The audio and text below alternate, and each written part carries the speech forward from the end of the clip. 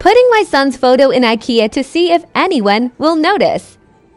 Do you think anyone will find it? Follow for part 2 to see if it's there next week.